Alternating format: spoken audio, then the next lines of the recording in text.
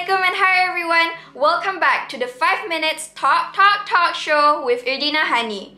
Our topic for today is You can change your life by changing the way you think. Ladies and gentlemen, would you believe me if I told you that your mind works the same way as how you pick your channels every day? Whatever station that you tune into, you are going to pick up that station. Let's use this as an example. If I want to watch Astro Awani, I can go to that channel. If I want to watch Talk Talk Talk Show with Irdina Hani because I have good taste, then I can go to that channel. I want you to realize that every single moment in your life, you are tuning into some channel and you are in charge of what channel that you tune into. For instance, if I want to watch K-pop fan cams, then I need to go to Mnet. But I can't stay on National Geographic and ask why is the fan cam not coming on? It's not coming on. It's not coming on.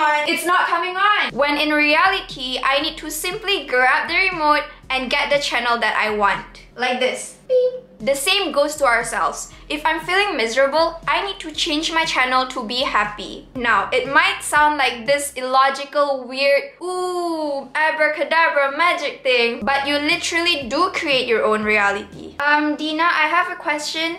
Why is this topic important? Well, if we look at the statistics, 43% of young people have described social media as something that made them feel worse. Along with that, 42% of teenagers refer to social media as their cause of stress. I used to be one of those who thought that way too. As someone who have been really insecure all my life, I've been trying my best to gain my self-confidence. Especially in this era that we're living in where it's so easy to compare ourselves with the people online online as if comparing ourselves to the people in real life isn't enough to make us feel bad about ourselves. Myself from like 7 years ago is a completely different person than I am now. I used to be the girl who would avoid cameras at all costs, the one who would compare her chapter 1 to somebody else's chapter 15. But everything changed when the Fire Nation attacked. And everything changed when the Fire Nation attacked.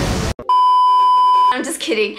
Everything changed when I started to change my mindset. Now, I have a very fun task for everyone who's listening today. Every single time you look at yourself in the mirror, I want you to say the words of affirmation. Try to say, Alhamdulillah, I am beautiful, I am pretty, I am handsome, and I am enough every single time you look in the mirror. Believe me, if you say this to yourself with a sincere heart every day, your words will become action and your action will turn into a reality. Now, I have an evidence to hopefully convince you with my words, but hold up. I want to get my glasses to make myself look smarter. Do I look smarter now? Oh, but the reflection is annoying. Okay, let us look at the reticular activating system, RAS, which is the nerves in our brainstem that filters out unnecessary information and presents the stuff that is only important to you without you even noticing it. You are able to train your RAS. If you focus on the bad things, you will invite negativity into your life and vice versa. If you can hear your name in a crowd of thousands, you can also tune your brain to only focus and attract the things that matter to you. So if you have a victim mentality and you think, everything is happening to me and the world is such a negative place, then you're gonna find all the ways that the world is screwed up. On the other hand, if you have a champion's mentality, you'll see that everything in the world is happening for you. If you try to find all the ways that life is beautiful, you'll find them. Oprah Winfrey once said, The way you think creates reality for yourself. So tell me, with the way that you are thinking right now, at this very moment,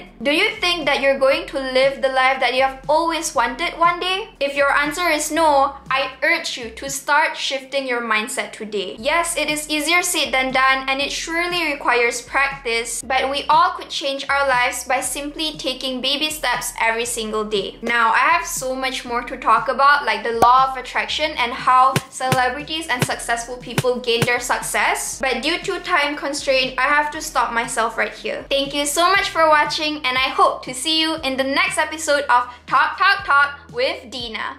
Bye